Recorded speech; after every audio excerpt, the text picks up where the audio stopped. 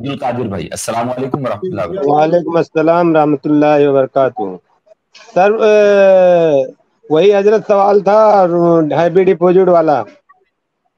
अच्छा अच्छा hybrid deposit का। जी जी जी। बताना आप मुनासिब समझेंगे? जी मुख्तसर अंदाज में। जी।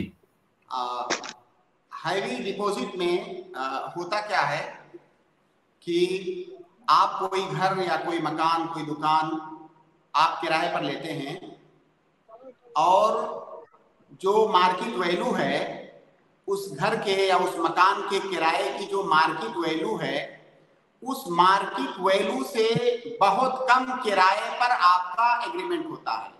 जैसे फ़र्ज़ कीजिए मार्केट वैल्यू उसकी दस, बीस हज़ार है। मार्केट वैल्यू उसकी बीस हज़ार है, बीस हज़ार रुपया महीना। लेकिन जो उसका मालिक है वो आपसे कहता है कि ऐसा है कि आप मुझे दो हज़ार रुपया महीना देना किराया इसका। मैं सिर्फ़ दो हज़ार रुपया महीना आपसे लूँगा लेकिन इस शर्त के साथ कि आप जब आ, ये मामला मुझसे करेंगे तो आप मेरे पास पचास लाख रुपया डिपॉजिट रखिए। आप मेरे पास पचास लाख रुपया डिपॉजिट रखेंगे और महीने का किराया आप बीस हज़ार के बजाय आप दो हज़ार रुपया महीना देंगे। उसके बाद वो दो हज़ार रुपया महीना वो किराया देता रहता है, देता रहता है। जब उनके जब उस मकान को छोड़ना चाहेगा, उस मकान को छोड़ेगा तो जो पचास लाख रुपया उसने डिपॉजिट में रखा है, वो उसे वापस मिल जाएगा। और वो जो पचास लाख रुपया उसने रखा है मकान मालिक के पास वो उस पचास लाख रुपए को वो इस्तेमाल करेगा, अपने इस्तेमाल में लाएगा। अब यहाँ पर जो समझने वाली बात है, सबसे मेन पॉइंट जिसको समझ करके आप मामले को समझ सकते हैं, वो ये है कि ये जो पचास हज़ार रुपया आपने उसके, पचास लाख रुपया जो आपने उसके पास डिपॉजिट रखा है, उस रुपए की हैसियत क्या है? भाई, किराया तो आप दे ही रहे हो, अलग से। तो ये जो पचास लाख आपने उसको डिपॉजिट दिया है उसकी हैसियत क्या है? दरअसल उसकी हैसियत जो है कर्ज की है।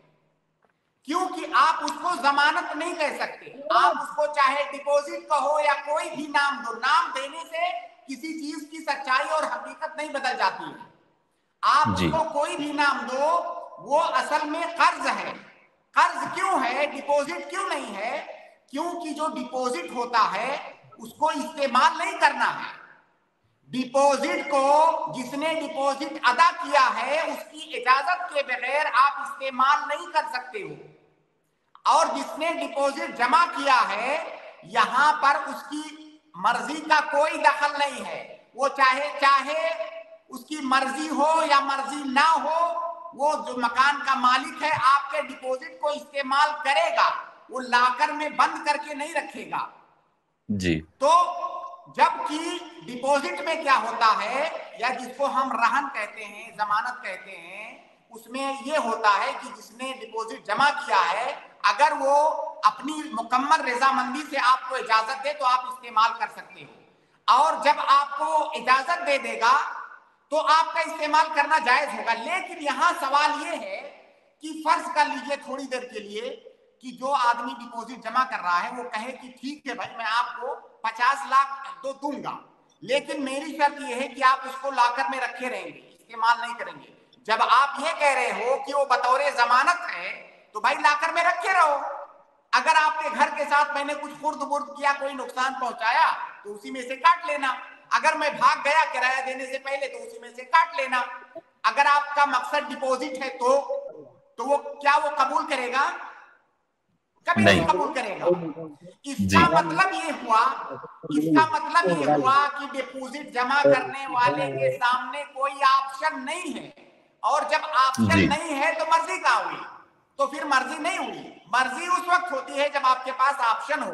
जब आपको मजबूर कर दिया जाए उसमें ये नहीं कहा जाएगा कि वो मर्ज़ी है। तो गोया की वो डिपॉजिट की रकम मकान का मालिक आपकी इजाज़त के बगैर इस्तेमाल कर रहा है। और जो चीज़ बगैर इजाज़त के इस्तेमाल की जाए, वो कर्ज होती है। तो वो जो डिपॉजिट आपने किया है, कर्ज में क्या होता है? कर्ज ये होता कि एक रकम मैं आपको दूँगा, आप ले जाओगे, मालिक हो जाओगे उसके, उसको इस्तेमाल करोगे, जब उसकी मुद्दत होगी तो आप मुझे वापस करोगे। तो यही तो होता है डिपॉजिट में। तो इसका मतलब वो जो डिपॉजिट आपने जमा किया है, वो कर्ज है। वो मकान मालिक उसको इस्तेमाल करेगा, उससे फ़ायदा उठाएगा। आ जाएगा आप घर वापस करोगे तो आपको डिपॉजिट की रकम वापस कर देगा। और ये कर्ज है। अब आगे इसके आगे देखते हैं।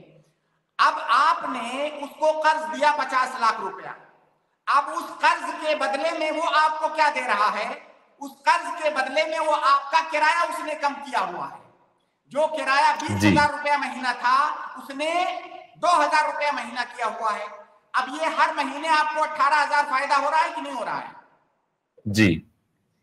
और ये क्यों हो रहा है? किसकी वजह से फ़ायदा हो रहा है? उसी कर्ज की वजह से तो हो रहा है। कर्ज की वजह से जो। और कुल्लो कर्ज जर्रा नफान फहुआ रिबा। हर वो कर्ज जिस कर्ज की वजह से कर्ज देने वाले को फ़ायदा हो वो कर्ज क्या है? सूद है। सूद। इसमें और बहुत सारी तफसीलात हैं। आ, वो तफसीलात में जाएँगे तो पूरा घंटा निकल जाएगा। आ, तो खुलासा ये है कि जो हैवी डिपॉजिट है वो सरासर सूद की एक शक्ल है वो सूद के लिए एक हीला है और ये जायज़ नहीं है। जी अब्दुल कादिर भाई। उम्मीद है कि आपको जवाब मिल गया। जी लेकिन लेकिन यही सवाल तो बनता है जैसे पचास लाख या चालीस लाख आदमी दिया है उसको तो वो तो इस्तेमाल ए, करेगा लिया तो करेगा। अगर वही चीज़ दूसरी जगह भी तो लगा के वो कमा सकता है ना। देखिए हाँ सुनिए बिल्कुल आ, आपके दिमाग में डाउट है और आपने पूछ लिया बहुत अच्छा किया। सुनिए आवाज़ आ रही है आपके पीछे से। देखिए मेरे पास पैसा है मैं उस पैसे से तिजारत करूँ कारोबार करूँ ये मेरा मसला है। मैं कारोबार करूँगा कभी मुझे फ़ायदा होगा कभी मुझे नुकसान होगा ये कारोबार है ठीक है? इस, इसको। तिजारत कहते हैं। जी। और जब पैसा मैं आपको कर्ज देता हूँ तो ये कारोबार नहीं है। कर्ज कारोबार नहीं है। कर्ज एहसान है। कर्ज जो है एहसान है। हमारी शरीयत ने कर्ज देने के लिए क्यों कहा है? एहसान करने के लिए लोगों के साथ भलाई करने के लिए। तो और इसमें नुकसान कुछ होने वाला नहीं है। जी। में नुकसान नहीं हो। तो ये एहसान है जिसका बदला आपको आखिरत में मिलेगा।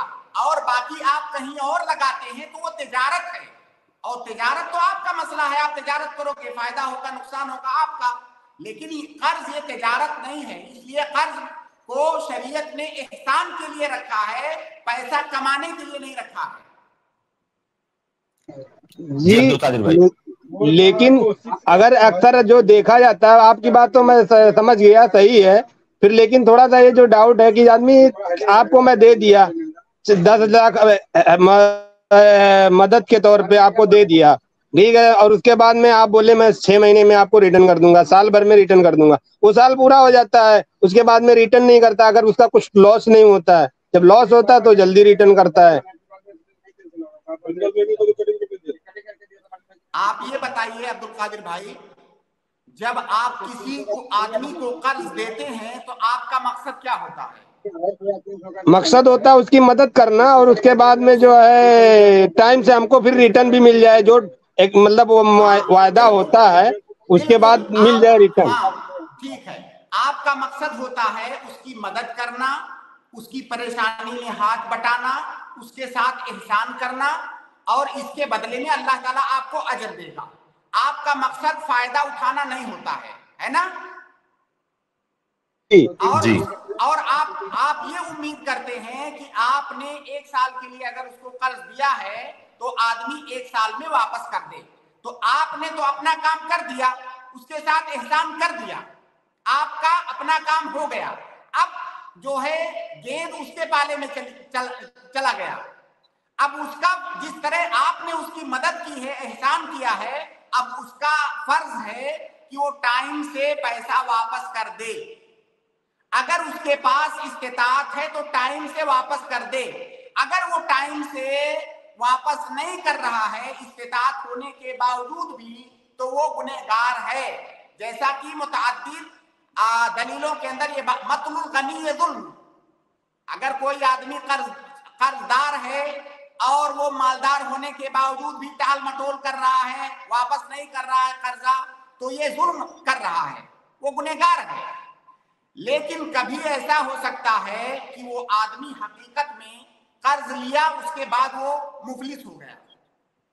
ऐसा हो सकता है कि मैंने कर्ज लिया अब जब टाइम हुआ तो मुझे लॉस हो गया बिज़नेस में मैं अदा नहीं कर पा रहा हूँ। अब यहाँ पर शरीयत आपको फिर कह रही है कि आप थोड़ा फिर आगे आइए। आप आगे आइए थोड़ा सा उस पर और एहसान कीजिए। आप कुरान करीम की क्या आयत है? कि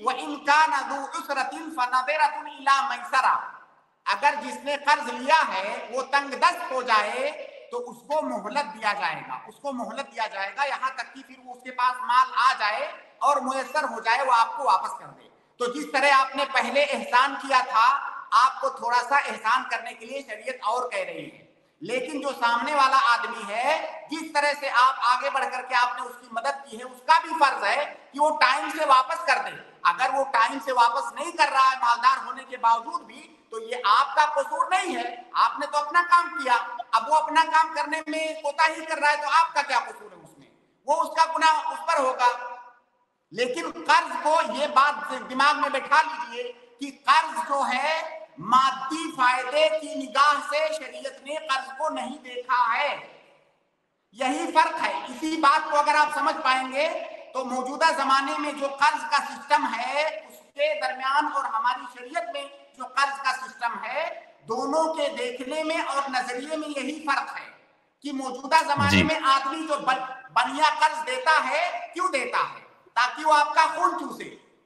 अपना मादी फ़ायदे के लिए जबकि शरीयत में कर्ज ये तजारत नहीं है मादी फ़ायदे के लिए नहीं है। ये एक तौर से एहसान है। जिस तरह समाज और मुआशरे में हम मुख्तलिफ़ शक्लों से लोगों की मदद करते हैं और हमारी शरीयत ने कहा भी है तकवा। दूसरों की मदद करो, तमाम इंसानियत की मदद करो, ये जगह जगह हमारी शरीयत में कहा गया है कि नहीं? और अब मदद की एक सूरत यह है कि अगर कोई मुहताज है तो उसको कर्ज दो। कर्ज तजारत नहीं है। तो जो देखने का नज़रिया है कर्ज को, उसी नज़रिए में ही फ़र्क है। मौजूदा जमाने का नज़रिया है कि कर्ज जो है कमाने के लिए हमारी शरीयत का नज़रिया है कि कर्ज मदद करने के लिए। जब इसी पॉइंट को आप समझ पाएँगे तो बात आपके लिए क्लियर हो जाएगी।